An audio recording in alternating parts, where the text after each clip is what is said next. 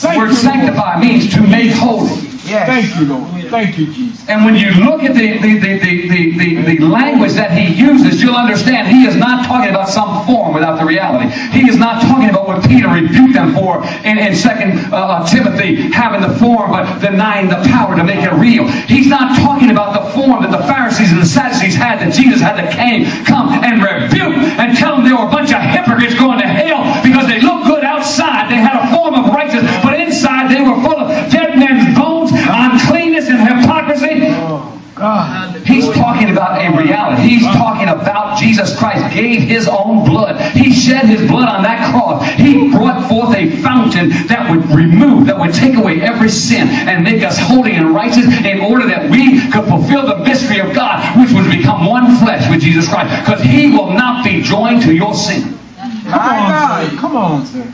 God cannot dwell with unrighteousness, with idolatry, with, with sin. He won't do it. He is a holy God. You know what? The Bible says, "Be ye born again one time," and we've made a we we've made a complete uh, a thing about it. But you know what? How many times the Bible tells us to be holy? Over six hundred times we are exhorted to be holy in the Bible, My God. and we don't believe it. Jesus is not coming for a lukewarm, watered down, uh, uh, uh, uh, sinful, tarnished, spotted, blemished, worldly, self-seeking, self-centered, prideful uh, uh, uh, uh, church. He is coming for a holy and righteous bride without spot or blemish. Why? Because that's what he bought and paid for. My Lord. And to give him anything less is an affront to God. It is spitting in the face of God. Jesus. He paid and bought for that he might have a church that he can present to himself that is glorious and splendor without spot or wrinkle or any such thing that is holy and blameless. He is talking about a literal work of the supernatural power of the, of, of the blood of Jesus Christ to change you from the inside out, to cleanse the inside of the cup so the outside can be clean too. My Lord. Yes, yes, yes. But see, we don't believe in the power of the blood anymore. We don't believe in the, in the power of his redemption anymore. And so the church looks just the opposite.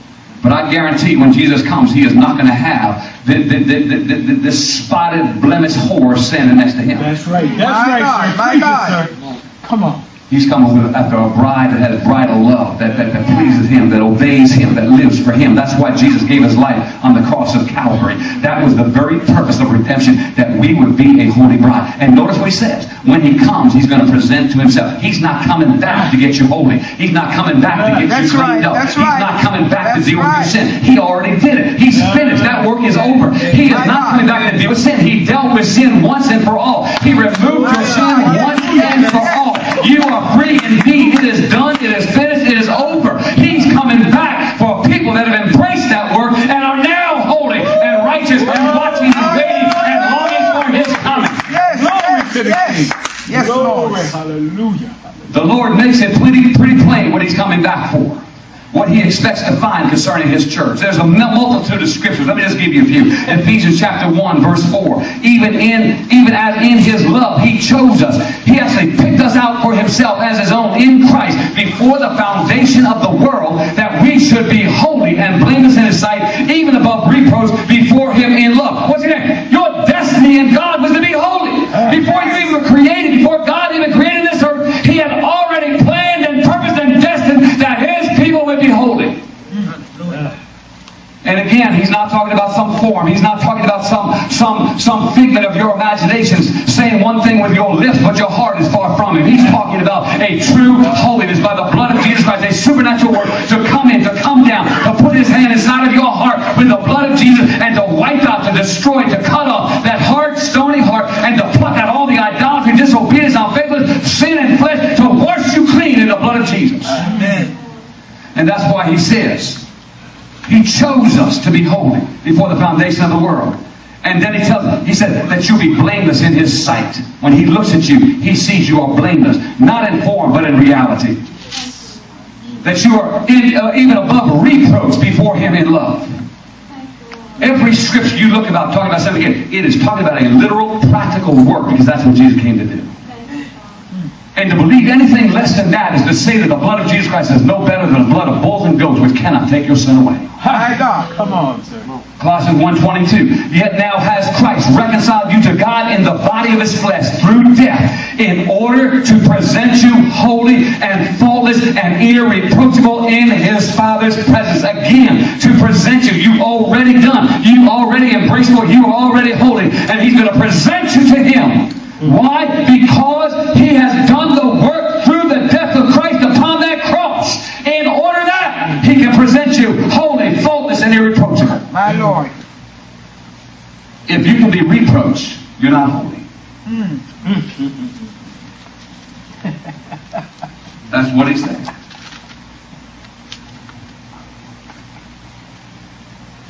Philippians 2.15 That you may show yourselves. That means it's got to be real. Somebody's looking at you.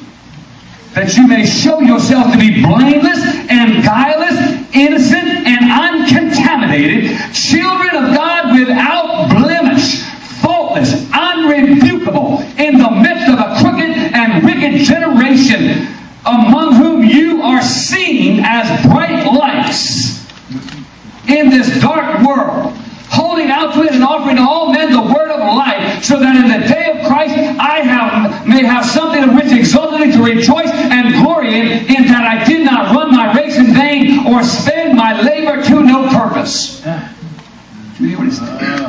Hallelujah. that you can be seen by others. That others look at you and they see you as being blameless, guileless, innocent, and uncontaminated. They recognize you as a child of God without blemish. Mm-hmm. Right in the midst of a wicked and perverse generation. God, in the yes. midst of the darkness. Yes, in yes. the midst of all the corruption and ungodliness. In the midst of that school system that's so corrupted by sin. In the midst of the government that is so polluted and contaminated with sin and ungodliness. In the midst of, of, of neighborhoods that are just filled with violence and ungodliness and sin. In the midst of the dark, in the midst of the gross darkness, the gross sin of there, that there'll be a people, that there'll be a children of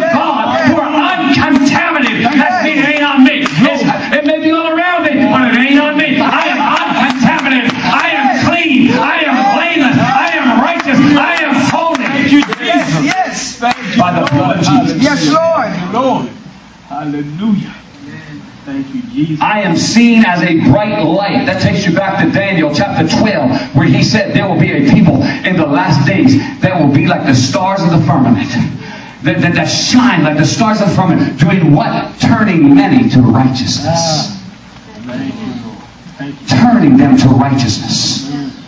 Not this facade that the church preaches that, oh, I'm holy and righteous, but in reality, look at me, I'm just, just as worldly and carnal and sinful as everybody else. No, he's talking about a real, he's talking about a, a supernatural work of the blood of Christ Jesus that makes you practically righteous, that gives you a new heart, a new spirit, a new mind, a new will, a new way, a new everything. Amen. Now look what he says here. What are these people doing in the midst of that perverse and wicked generation? They are holding out to it. They are offering to all men the word of life. Ah, You see, holiness is not just about being dead to sin. It's about being alive to God. amen. Holiness means that you're on fire. You're not lukewarm. You're not cold. You are on fire for God. You hold out the word of life to men ever. You are a witness. You are a martyr for Jesus Christ. You, you count it all joy to bear the marks of Jesus Christ on your back as you are persecuted, rejected, betrayed by those you're trying to bring the life of Christ to. That you're not concerned about the persecution, being whipped, being stoned, being thrown in prison. You're not worried about those things. Why? Because you are an uncontaminated child of God that has been brought forth to hold out the word of life, to enlighten all men everywhere, to hold out the gospel of truth, that souls may be saved. Yes. Amen. Mm. See, if we don't make disciples, if we do, if we are not busy getting souls in the kingdom of God, we're not holy. My God. My God. Come on, come on. Because you're holy, you're separated to the will and purpose of God. To be holy is to have the love of Christ that constrains you to no longer live for yourself, but to live for the one who died for him. For you. My Lord. You see, we, we, we, we think we're holy, we think, we think we're right, but if we're not obeying the commands of Jesus Christ, then we're not. Ah. Truth. And his biggest command was go and make disciples of all nations. Yes. Thank you, Holy Ghost. And over 90% of the Church of America has never spoken to anybody about Jesus Christ in their entire Christian life and think they're on the way to, on the way to heaven. My God. When Jesus says, if you don't bear any fruit, you, you claim to abide in me, you bear no fruit, he says, you will be cut off and wither. And guess what? You'll be cast into the fire to burn. Let me tell you, there ain't no fire in heaven. Come on, sir. Ooh, come The only light in heaven is God and the Son, Jesus Christ. Yes, There's no fire burning in heaven for, for, for withered branches that are not bearing the fruits of his kingdom. Because Jesus said, if you abide in me, not only will you bear fruit, but you will bear much fruit. Yes. You see, that's the whole purpose of marriage.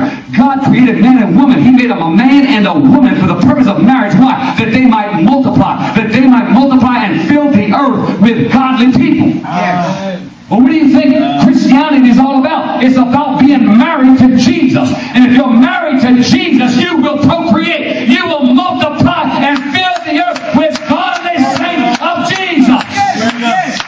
Hallelujah.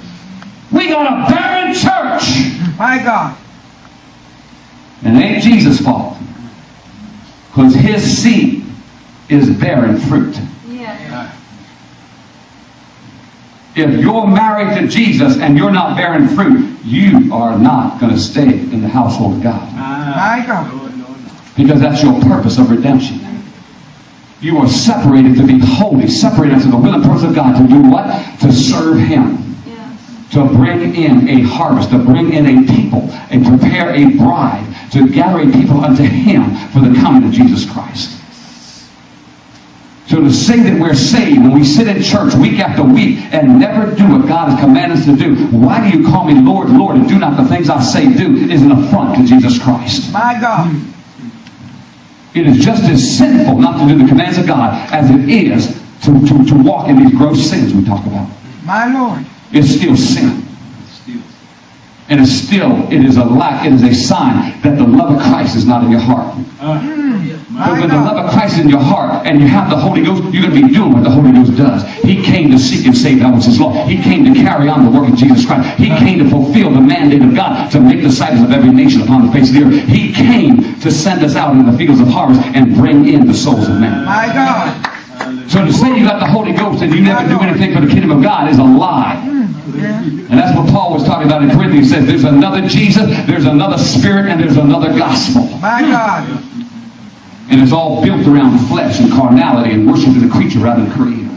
My God. God says his people are sold out to do his will. They lay down their life. They deny themselves. They lay down the comfort and the entertainment and the pleasure to do the will of God. They are sold out. They are witnesses. A witness is a martyr. The word in Acts chapter chapter 2 is a martyr. Uh, uh, you shall be my witnesses. A martyr to lay down your life for Jesus Christ, to take up the cross daily and follow him, to do his will. When he redeems you, he fills you with that kind of love, with that passion and zeal to want to please him and serve him and do his will, no matter what it costs.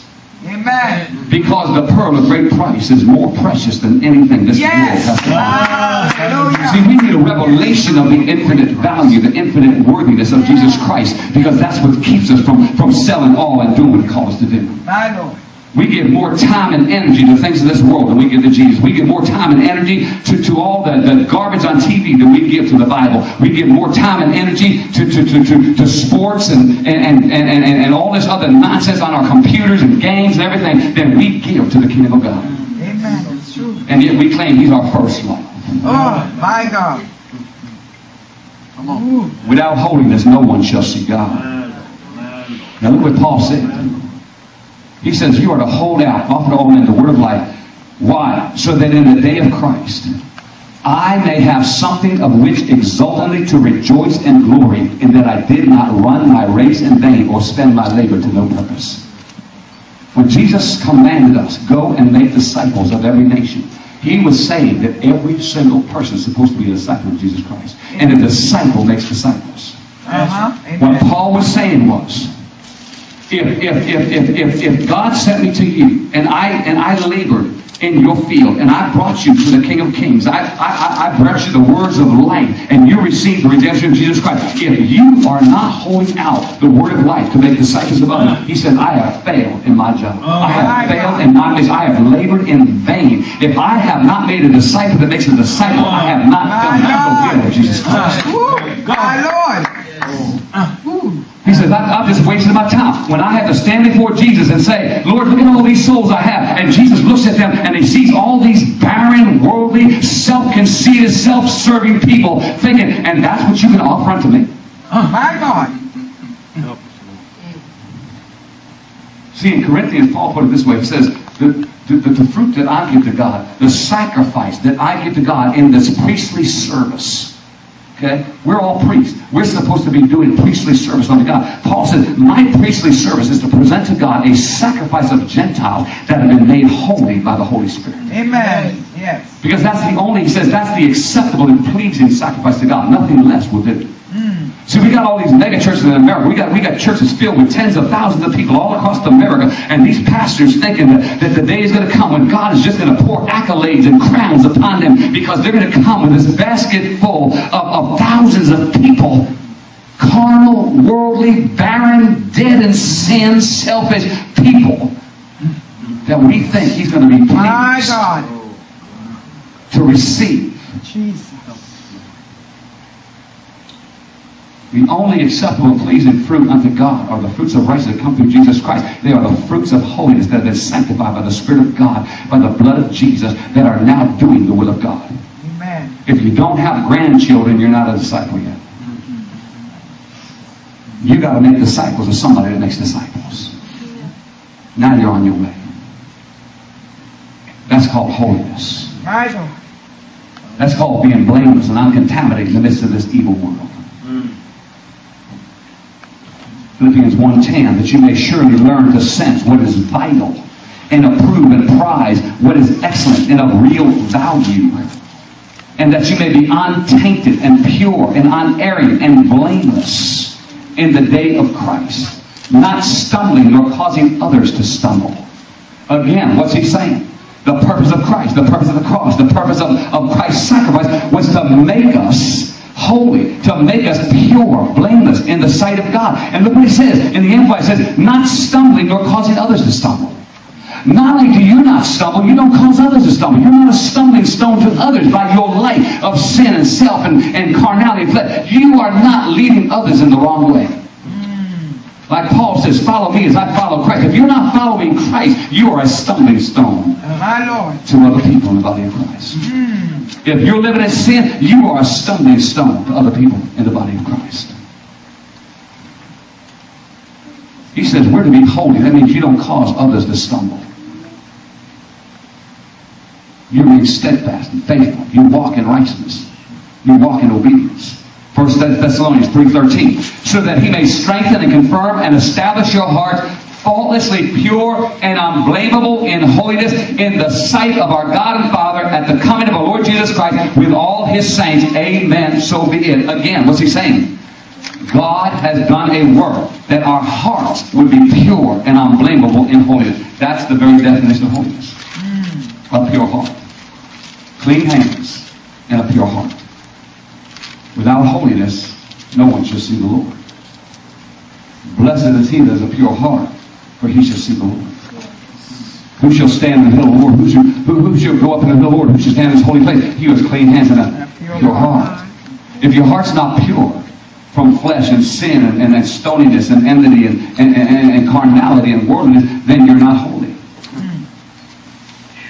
He came to make us holy so that on the day of Christ we would present to, he would present us to him already holy. That, that, that, that, that, that uh, uh, uh, at the coming of the Lord Jesus Christ with his saints, they will see a holy people. They will see a, a holy people upon this earth. Unblameable in the sight of God the Father. He's looking at us. Yes. What you do is go back to Luke chapter 1. Go back to the beginning. Go back when, when, when Luke chapter 1, before, the, before Jesus was born, and Zechariah began to prophesy the birth of John the Baptist. And he tells them that what was happening. He explained to them what was happening. He told them this is the fulfillment of the promise to Abraham. That God was going to send a deliverer to set you free from your enemy. And then he says, here's why. That you might serve him in holiness, in his presence, in his sight, all the days of your life. Hmm. That's why he came to save us. Yes. To serve him in holiness. Holiness. Before him, in his sight. What? He's watching us. His eyes are upon us as we're doing his will. Amen. See, that's the good thing, because if you're walking right with God, his eye is with me. Mm. he, he, he, he's with me to make sure that the job gets done. See, that's what he said. He talked about back in, back in Chronicles. He talked about the fact that, that, that, that God would be with us, that he would not leave us or forsake us until we have finished all the service for the work of the house of God. That's why when I say, God, what are you going to do? Where, where am I supposed to go? He says, go here, go there. Wherever there are perishing souls, go. Why? Because I'm with you. Yes, yes. It doesn't matter where you are. It's what you're doing. God is with you. And lo and behold, He is with you when? When you're making a disciples. When you're doing the will of God. When you're walking in and righteousness. The Lord is with you. Yes. And His eye is upon you. So everything that comes along, every distraction, everything that tries to get in the way, God's eye is upon you. He's watching, He's dictating, He's ordering, He's structuring. His Spirit is moving to get you to the place that He's prepared. Amen. See? See, God's here right now. His eye is upon this house. He's not worried there's not 2,000 people in this place. He's looking for one man. He's looking for one woman. Come on, sir. We, we. He's just looking for one. woman. Because we have yet to see what God can do with one person that's completely sold out to the will of Jesus Christ yes. in absolute, uh, uh, absolute devotion unto Him. My God, my God, my God. 1 Thessalonians 5.23, and may the God of peace himself sanctify you through and through. Look at this. He says he wants to separate you from profane things. He wants to make you pure and holy, consecrated to God. And may your spirit and soul and body be preserved sound and complete and found blameless at the coming of our Lord Jesus Christ. When's he going to do it? Right now. Now. Being dead to sin and alive to God. Not tomorrow. Not when Jesus comes. No, now. Why? So when he comes, you will be found holy and blameless. And, and listen, body, soul, and spirit. He does the whole work. He's a holistic God. He touches every part of you. He cleanses your body, soul, and your spirit. He does the whole work. The blood of Jesus purifies us from all sin. Yes. He takes all the defilement from your body, all the defilement from your soul, from your mind, from your from your emotions. He takes all that sin out of you. He cleanses up, he cleans up your spirit, and he cleanses your heart and makes it pure and holy by the blood of Jesus Christ. Amen. So that when he comes, you'll be found blameless, body, soul, and spirit. And notice what he said. And this is what you are when you're holy. You are consecrated to God. In other words, your life is given over to the purpose and will of God. Yes. That's what Yes. consecration Ah. is. You are about God. Everything about you is about God. Just like Jesus. He never did anything for himself. Everything was about God. Serving God, pleasing God, doing God's will. Whatever God wants. Whatever that's me. See, consecrated to God. I'm here for the purpose of God. It is not about cars and houses and, and, and money and buildings. No, it's about Jesus. It's about God. It's about people. It's about soul. It's about the kingdom of God. We are here to be about the business of the King. Amen. He bought and paid for us, body, soul, and spirit. Yes. We've those, those, those talents and burning them in, the, in, in, in the napkin. And then think God be so pleased. Mm. And we didn't have enough gumption to go at least put it in the bank and get some interest on it. My God.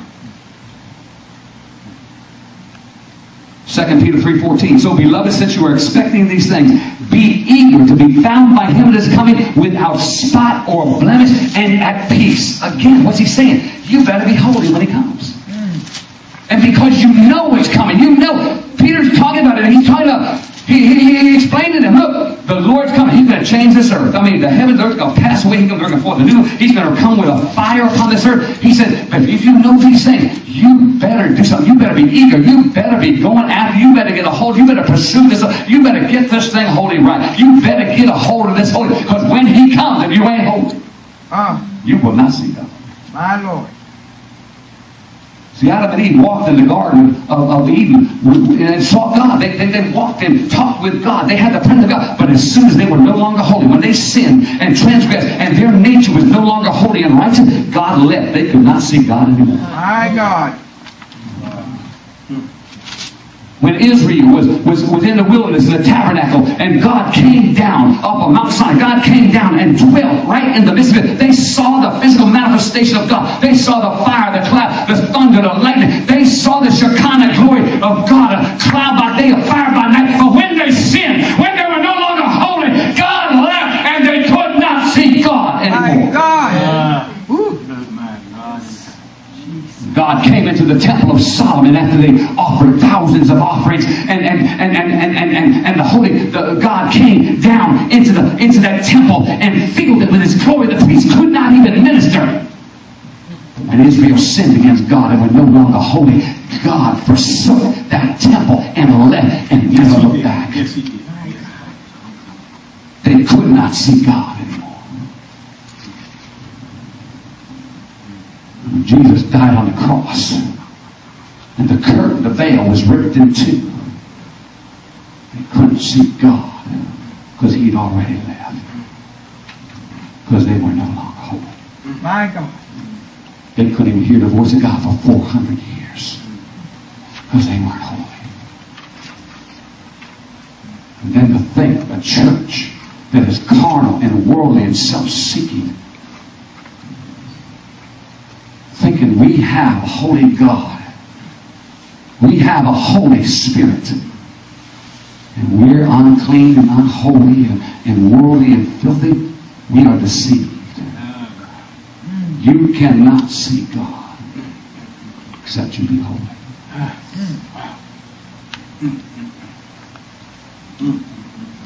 He says, You better be eager to be found by him that is coming without spot or blemish and at peace with God.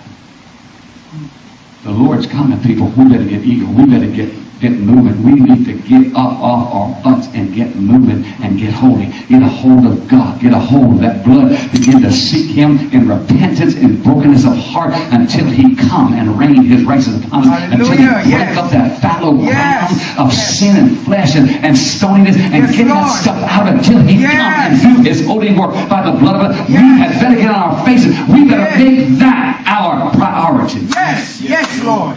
Because Yes. Like we heard earlier, he's coming at a time when nobody thinks. My God. Yes. He's coming like a thief in the night. Not to the world, to the church. Yes. Come on, sir. My Come God. on, sir. It's, it's the virgins that weren't ready, that were looking for his coming, that weren't ready, and though they missed out. Uh-huh. It was his servants that weren't ready that missed out. It was his unfaithful householders that weren't ready and missed out at the Uh-huh. coming of Jesus. Yes. Not the world. They did not even look at Jesus. Oh, my God. Hmm, Jude 124. Now to him who is able to keep you without stumbling or slipping or falling, and to present you unblemished before the presence of his glory in triumphant joy and exaltation. When he makes you holy, he can keep you holy. Amen. You eat of his flesh and drink of his blood every day. Yes. You, you, you, you keep yourself cleansed from every defilement of body, soul, and spirit every day in the blood of the Lamb. Yes. Like the priest going into the holy place, they got to wash their feet every day. They're already clean all right, but they got to wash their feet before they go into the holy place. God can keep you from stumbling. God can keep you holy. Okay? That, that, that, that, that verse in 1 John chapter 1 where he says, and the blood of Jesus cleanses us from all sin. If you read it in the Greek, it actually says, keeps us cleansed from all sin. In other words, as we walk in the light, as we walk with Jesus, we walk in the in the Holy Ghost. He keeps us cleansed from all sin. He reveals sin before it has a time to attach itself to us. He convicts us of something that God has, has put his hand, his finger upon and identified, and we get rid of that thing right away. Why? Because our, sin- our, our, our conscience is tender, our heart is tender towards God. He keeps us cleansed. He don't allow anything to attach itself to us. Amen. And because the fear of God was given to us through that redemptive work of Christ, we hate evil. We don't have anything to do. We don't look on it. We, we, we don't want to sit down in our comfortable chair and watch it and enjoy it. We, we don't want to put, our, put, put, put it for our eyes. We don't want to put our hand in it. We don't want to participate in it. We want to open our mouth in it. No, we don't have nothing to do with it. We hate evil just like God hates. In fact, it's so hateful that everything that gets upon us, any defilement of sin gets upon we feel dirty. We just feel like, God, you need to do something now because I just feel dirty. I can't stand I don't know about you, but I have a thing about germs. I can't stand some things that get dirty. You know, I got to wash my hands right away. Yes. See, God, when He makes us holy, He when He changes our heart, gets a hold of. When you get something on you, when you hear something come through your eye- your ear gate, you see something come through your eye gate, you can't. You got oh God. God forgive me, Lord, right now in the Yes, name of Jesus. yes, yes, Father, wash me in that blood. Get Yes. that thing off of me. Get that thing away from me. Make me clean again. Lord, give me a clean head, pure heart. Lord, I cannot be this way. My God. Yes. We hate sin. See, the church today, they, they, they enjoy sin. Oh, They entertain themselves with sin. my God. Every time they turn on the TV, they just sit back and enjoy the homosexuality, the adultery and fornication, the lying, the murder, the thieving, the, the robber, the, the, uh, the, oh God ah. help us. My God. Ah. Enjoy it. My Lord. Not just what, enjoy it. Come on, sir. Come on, sir. Come on. My I think they're going to hell. Come on, preach, preacher. Come on, preacher. That's the word. Ah, And God told Isaiah, you think you're going to go and live like this in all your sin and God, then you're going to come into my house and go through this ritual and think everything okay and then go right back out and do the same thing again and you think I'm pleased with you? But that's what the church does. Oh, my God. We, we come to church and we, you know, oh, we, we repent, you know, we, we, and go right back and do the same thing. And because we went through the ritual, because we said a prayer, we think everything's straight now. And God looks at our unholiness. He looks at the uncleanness of our hearts. He, he looks at the filth. And we think we go to heaven. Without holiness, nobody, no one shall see the Lord. And it was to that end that he exhorts us in Hebrews pursue holiness. Pursue holiness without which no one shall see the Lord. If you don't have it, you better get it. Because time's running out. He said, be eager, be eager, be diligent, do something, get on your face. Act like this. If you don't do this, you got nothing. It ought to be the top priority. It ought to be the thing that drives you. Because you know that Jesus may just show up next hour, next day, next night, tomorrow. We don't know. He's going to come. And if we still trying to decide, we still trying to decide what's more important, what we can do in our time, what we can do, you know, if we still deciding, he closed the door. We knocking. Jesus peek around. make it plain, sir. I don't know you. Make it plain. I don't know you. My God. I don't know you. So what is this holiness that he's talking about? We better know what it is. Ephesians 5.27 again. That he might present the church to himself in glorious splendor without spot or wrinkle or any such thing, that she might be holy and faultless. To be holy is to be free of sin, without spot or blemish. The word perfect means the same thing. See, again, that's one of the lies of the devil. Oh, nobody's perfect. Well, I just tell them that I'm not. I'm nobody then. I'm nobody. Why? Because I'm perfect. Ah. Because Jesus made me perfect. The word perfect and the word holy are the same word. It means the same thing. It comes from the Hebrew uh, tamim back in the Old Testament. When, when, when, when God said to, to, to, to, to uh, Abraham, now be perfect. He told Israel, be perfect. Okay? He, he, he commanded them, be perfect. He told, he told uh, uh, uh, uh, Jonah, be perfect. What does he mean? Well, it's the same word he used for the sacrifice. A sacrifice was perfect when it was without spot or blemish. The word perfect means to be without spot or blemish. Okay? So Jesus came to do what? He died on the cross to make us perfect or holy. Amen. He came to make us without spot or blemish. How? By washing away, by removing, by deliverance from all sin, every spot, every blemish. Then we'd be perfect and holy. Amen. Okay? So to be holy is to be without spot or blemish, to be without wrinkle. Mm. Okay? He's, he's, he's describing his bride in, in, in, in, in these robes that are washed in the blood of Jesus Christ. He's describing a, a, dress that is, that is white.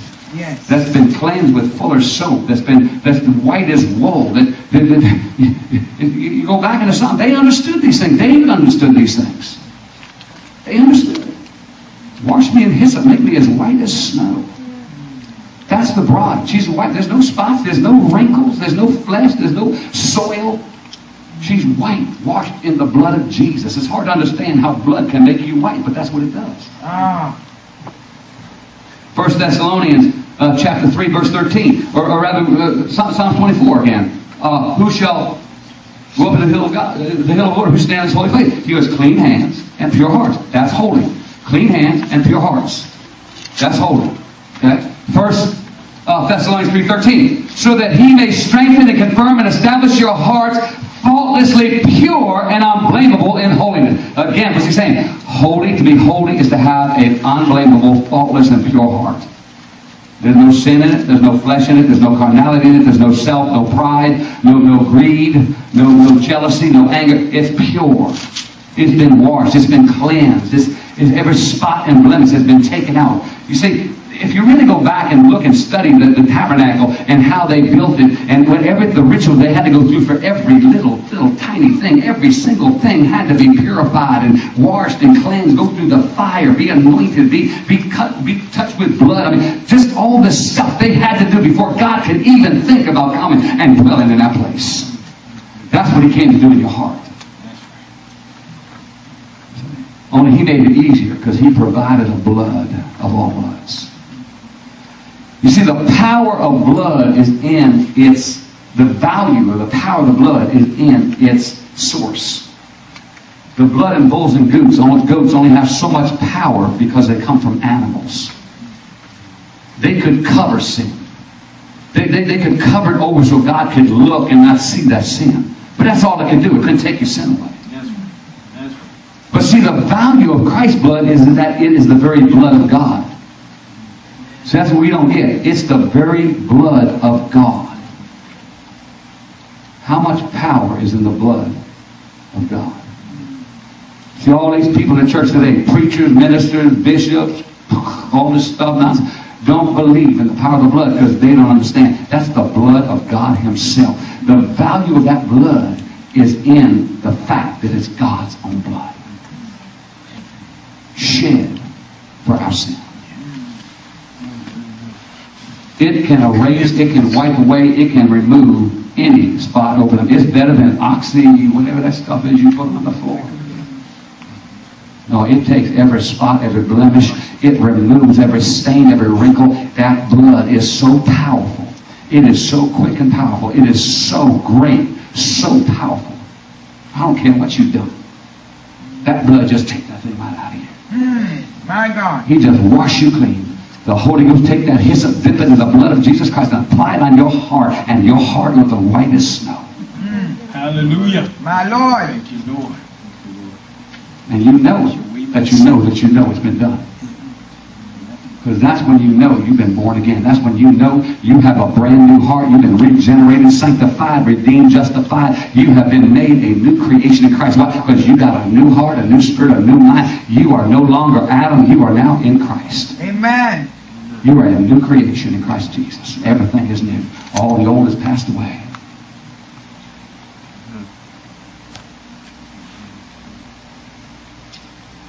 First Thessalonians 5.23 And may the God of peace himself sanctify you through and through.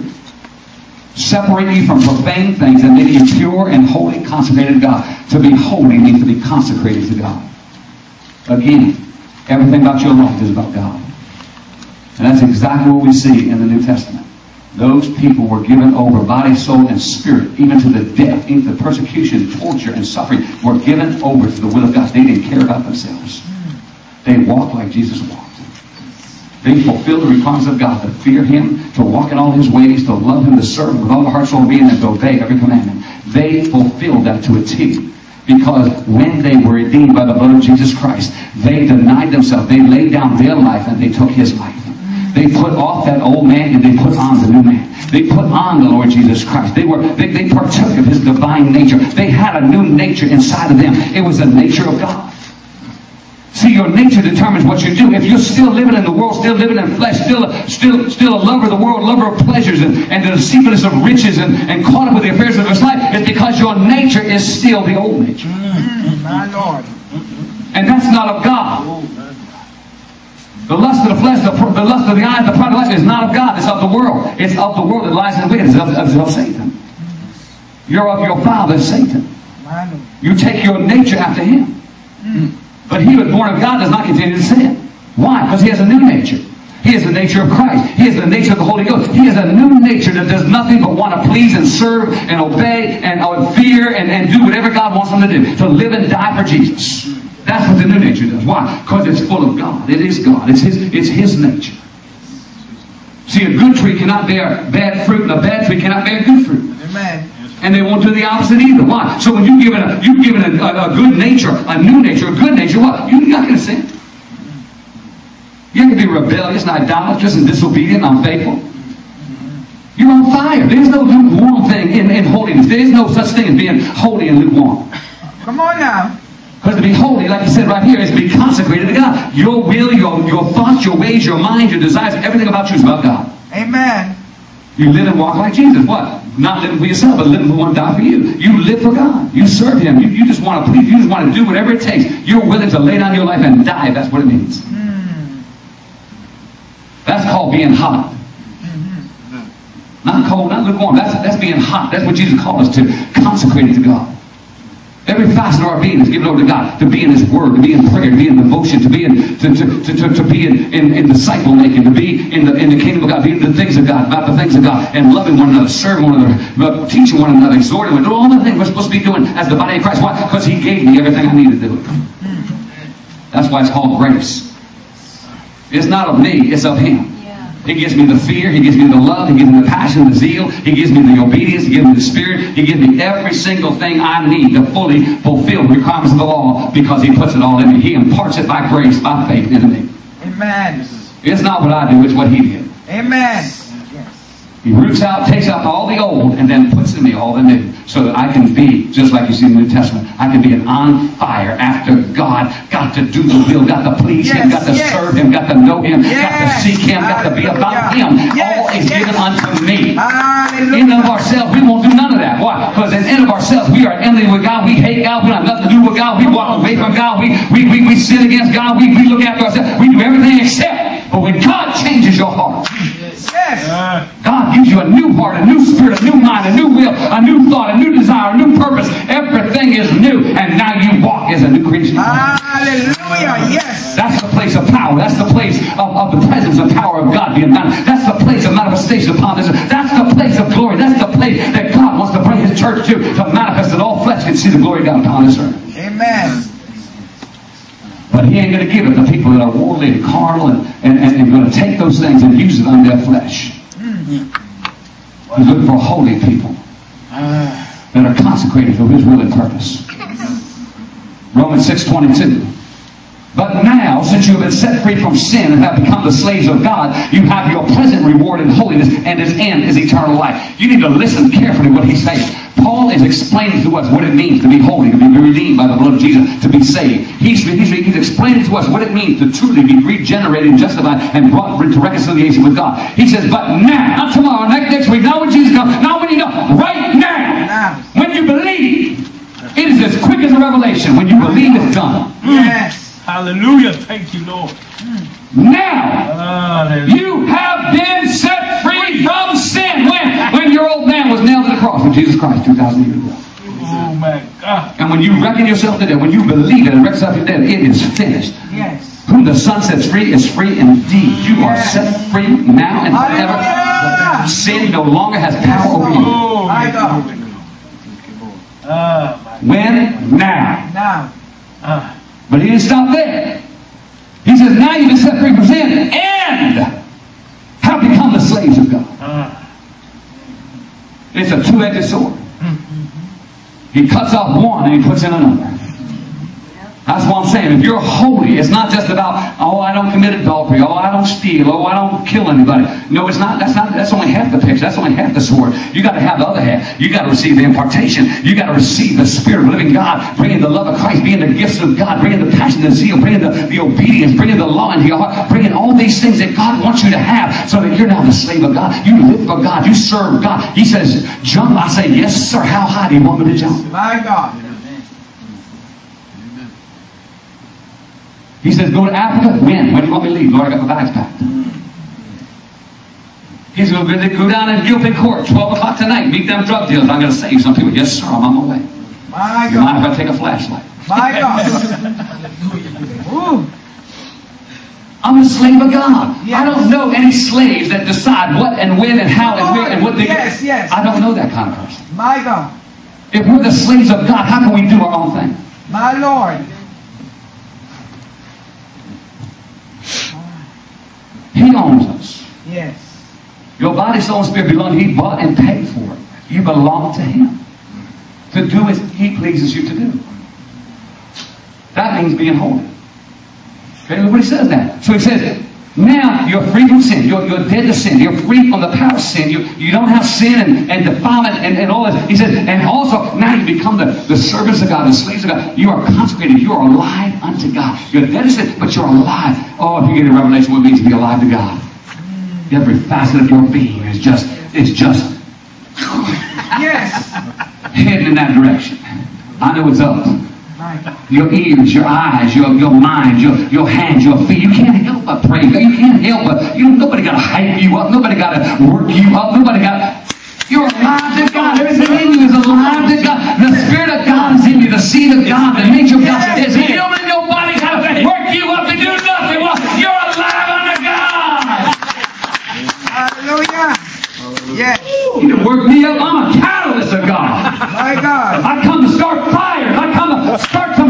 some, bring some awakening. I come to stir you up. I come to provoke you. I come to make you jealous. I come to cut you to the heart until you repent and get on your face and get made new again. Yes, Lord. Yes, oh God. Hallelujah.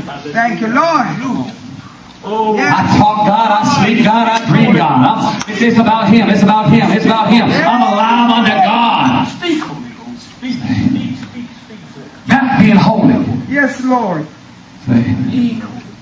Dead to sin, but alive to God. Oh God. Now look what he says. Look what he says in Romans chapter 6, verse 22.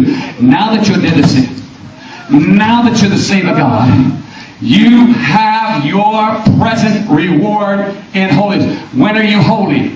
When you're dead to sin and alive to God. When you're dead to sin and the servant of God, you have your reward. Your reward is you're now holy. God has done His work. He has cleansed you. He has given you clean hands and a pure heart. He has rooted out, ripped up, tore down, and destroyed all that flesh and carnal sin. And He has given you His Spirit, His love, His passion. He's given everything of His kingdom for you. Now you're holy. Yes. But look at it. He didn't stop there. And its end is what? Everlasting. Everlasting life. The end of what is everlasting life? Being holy. Without holiness, no one shall see God. It is not the end of saying a prayer. It is not the end of saying one thing and, and, and, and being something else. It's not the end of having a form but denying the power. It is not the end of something that's not real. It is the end of being holy. It is the end of being dead to sin, being finished with sin, being finished with this world, being finished with flesh, and being alive unto God. That's eternal life. Why is that true? Why did God say it was that way? Because we take the next verse and we take it out of context and we misuse it. He says, here's the reason why that's true. Here's the reason why without holiness no one shall see God. Because the wages of sin is death. He's talking about spiritual death. He likens it to eternal life. Without holiness, you cannot see God. Why? Because the wages of your sin is eternal damnation. But the gift of God is eternal life in Christ Jesus our Lord. But eternal life is the fruit of your present reward of holiness after you've been made dead to sin and alive unto God. You are consecrated to God. You are without spot, without blemish. Your heart is pure. Your hands are clean. And everything about you is in newness of life, directed unto the resurrection life of Jesus Christ, to walk, to live, to please, to serve, to do whatever my Lord and God wants. Amen. He is my Lord. Yes. He is my King, not in Yes. word, but in deed. Yes, Lord. I don't say, Lord, Lord, do not the things he says do. When he speaks, I say, yes, sir. Because he's Lord. That's the church that God's going to raise up. That's the bride that he's going to have for his son. He is not coming back for a lukewarm, worldly, carnal people. He is coming back for an on fire, righteous, holy, consecrated, dedicated, full of God, full of the Spirit. Doing his will. Now, I'm not here to condemn you. I'm here to give you good news. If you're not there, repent and believe. And Jesus will make you whole. Repent and believe. You'll receive the remission of sinners. You'll be filled with the Holy Ghost. Just look it up. Look what it says when you believe in the Lord Jesus Christ. Look at what happens when you believe in the Lord Jesus Christ. You'll be reconciled, you'll be justified, you'll be redeemed, regenerated, you'll be sanctified. You, everything that Jesus came to do when you repent and believe is done.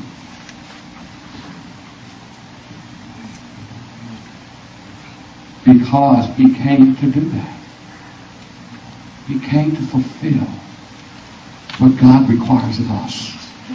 To fear him, to walk in his ways, to love him, to serve him with all our heart, soul, and being, and to obey all his commandments. Jesus came to supernaturally affect every one of those things in us. He prophetically revealed it all through the Old Testament.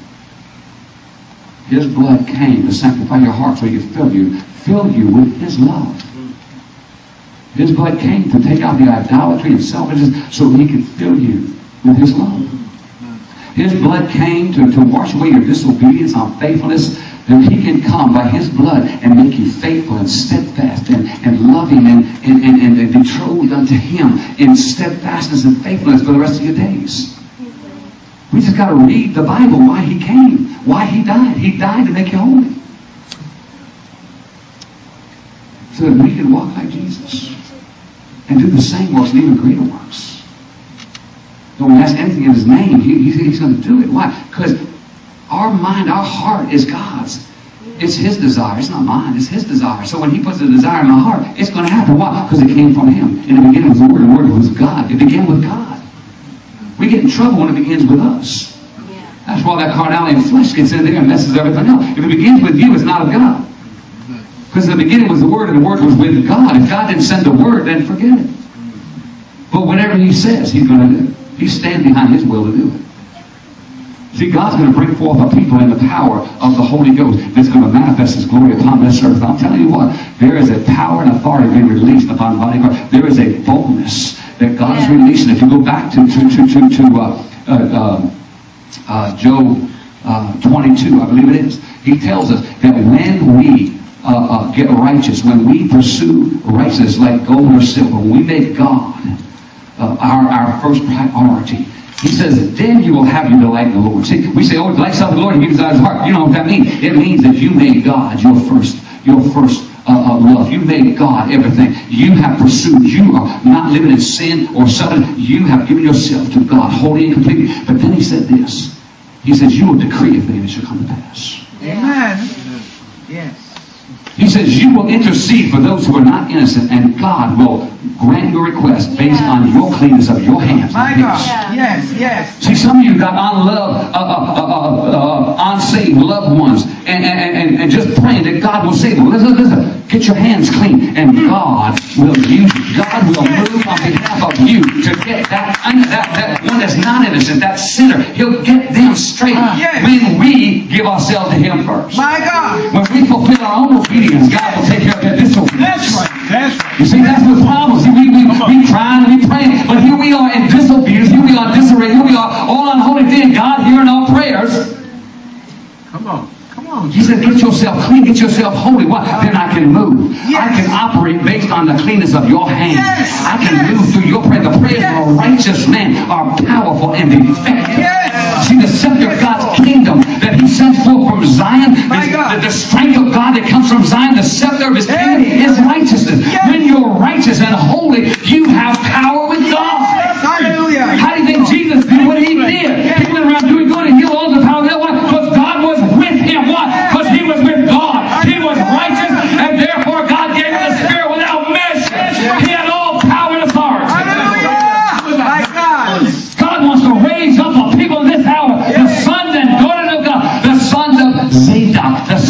Of righteous. Why? Yes. So when we speak, when we decree, when we declare, it happens just like that. When we when we when we speak the word of God with a word that set free, with the finger of God, they are delivered and set free in the name of Jesus. Why? Because the prayer of a righteous God. When we say rain stop, it stops. We say sun be still, it stops right where it is. Why? Was the prayer of a righteous man.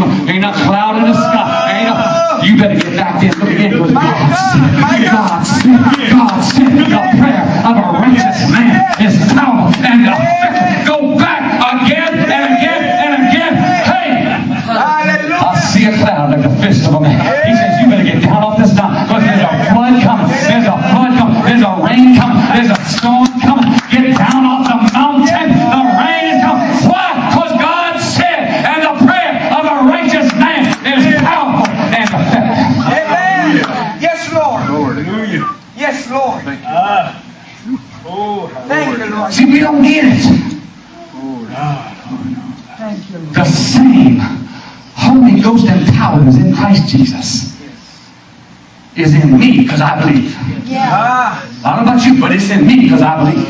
amen. I believe, therefore I speak. Jesus. I don't judge by what I see or what I hear. I judge with righteous judgment. I'm not moved by need. I'm not moved by the things of circumstances and the things of this world. I am moved by the Spirit of the living God. Amen. When He speaks, it is done. When He commands, it is established. There's nothing more to say. It's finished. That's the people God's going to bring forth. Oh,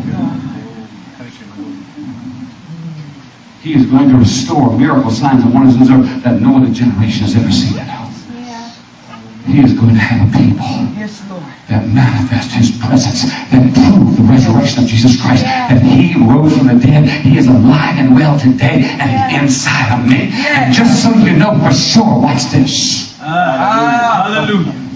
Be healed in the name of Jesus. Lord. My God. Thank you, Lord. How will you know Jesus, Jesus is here? When the blind eyes are open, the deaf hear, the lepers are cleansed, the lame walk, the dead are raised, and the poor have the good news preached unto them. If he's still here today, he's still doing the same things today. And if he's not doing them things, he ain't here. Because my God hasn't changed. He's just looking for a man. He's looking for a woman who has a heart after him, who is totally sold out. The eyes of the Lord raised around the earth to, to strengthen those whose hearts are fully committed to him. Who's committed to God? Who is sold out to God? Who's on fire for God? Who don't care a whit about this life or anything in it, but just wants God and everything he has, everything he is. Just want him. Oh, God. Lord. That's what I tell God. I, as long as somebody ain't healed, I need more God. Yes, yes. Because he said Jesus healed all who are under the power of the devil. Come on, sir. Every one of them was healed under the power of the devil. But then he told me, I give you power and authority to trample on snakes and scorpions over all the power of the enemy. So if he's given me power to trample on snakes and scorpions, to overcome the power of the enemy, then all ought to be healed. It ain't happened, I go with another level. I gotta, I gotta step up. Ah, ah, I gotta step up. ah, ah. He wants more of God. He wants more of us. He wants all of you. You have all of him. We got to get out of the way. That's Because I'm looking for the glory. I'm looking to see things that God has shown me that I have tasted of. I've seen it down in Haiti. I've seen it in other countries. I've seen the blind eyes open. I've seen God move miraculously. I've seen bones that were broken instantly healed in the power of God. I've seen lumps and, and, and, and these goiters and stuff in people's bellies suddenly disappear just like that, washed out by the blood of Jesus Christ. I've seen with my own eyes. Oh, See, once you taste of something, you, you just got to have come it. on. Come on. Come on. See, hamburger ain't no more, ain't, ain't no good after you had some filet mignon with a little ra- ra- bacon wrapped around. Hamburger just don't do it no more. Hallelujah. God gave you a word a while back. He said, we need to start believing God for the impossible. Yeah. That's right. We need to begin to see God for how big He is. See, we get so narrow-minded. We get so fixated on the littleness of, of us. And, and, and, and, and we look at our strength. We look at our wisdom. We look at our ability. We look at our little churches and stuff. We need to get our eyes focused on Him. Yes. It's not us anyway. That's right. In fact, when we become nothing, He'll become everything. Come on. When you become nothing, He can do something with you. That's right. That's right. You know what He said? He called things out of nothing. So when we become nothing, He can call us into something. That's right. As long as we're something, He can't do nothing with us. God. But if we become nothing, He can do all things through us. Come on, sir. Come on. We can walk like Jesus walked. clear. That's right. And He said, greater works. I'm looking for the greater works. I'm looking for miracles no other generation has ever seen or known upon this earth. I'm looking for things that bend the very laws of nature. Ah. Ooh, hallelujah. You know what I'm talking about? Uh-huh. See, see, God can make water go up in the air. yeah. See, God can make the apple tree, the apple tree, apple go up in the air. Oh. He can, he can change the very course of nature. That's my God. You see, our puny little problems ain't nothing in the eyes of God. Oh, You look at us, it's done. See, we, we, we think in terms of, you know, 10,000, maybe, maybe I got big faith, or $100,000. No, see, my God's got billions. You can't even, you, we don't have a word in English language with, with, with what God has. You know what I'm saying? We keep having to change it with the computers. I think, what, what, what, what, what are we on now? We have gigabytes, and now we're up to something bigger than that. What's the, what comes out of the gigabyte? The, the, the, the, it starts with a T. Anybody know what I'm talking about? On the computer? When you get memory on the computer, it's no longer gigabytes, it's now something else. We had to take it to another level because we kept running out of all that memory because it keeps up with new software to eat something more. Well, my God go beyond that. See, the earth is the Lord, the fullness thereof. Everything's in. If he were hungry, he wouldn't ask us why. He has everything. But see, we don't believe. We got to get holy. We, we got to get righteous. Why? So we have power with God. That we can see God do what he wants to do. Why? For the whole purpose that many will see and believe and turn and surrender themselves to the Lord Jesus Christ. It's not about me, it's about harvest. It's not about me, it's about souls. It's about the kingdom of God. It's about the manifestation of God's presence to bring souls into his kingdom, to save, to prepare a people for Jesus Christ. It's about souls. Not about money and glory and, and accolades and buildings and, and all that stuff. It's about souls for the kingdom of Jesus Christ. And when you're holy, that's what's in you. You just want to see somebody get saved. Somebody get, get on fire and do more than you. Get, get, get, get go beyond you. Be greater than you. Be, be more powerful. More, be, be more serious. Be more consecrated than you. You just want to see somebody get up there and, and make you look, look, look like nothing in what they're doing. Because then I can say that's my grandchild. That's that's my that, that's my that's my child. That's that's that's mine. That's see you can do it all the thing, but that's that's mine. Ah, my God. Oh, my God. Hallelujah, God. Amen. Without holiness, no one shall see the Lord. If you're not holy, repent and believe. If you're not hot, if you're not on fire for God, Jesus said, repent and believe. Open your heart. Humble yourself. Repent and believe. He'll do the rest. Every part of the redemption of Christ is supernatural power by the Spirit and the blood. Supernatural power. The working of God raises you up in newness of life. It takes the power of God to redeem you. He doesn't wave a magic wand and, and, and declare you holy and righteous. He reaches down in his power and the energy, the working of God. In Colossians chapter 2, he says the energy, the working of God circumcises your heart and raises you up into this newness of life. Dead to sin and alive to him. Amen. Let's pray.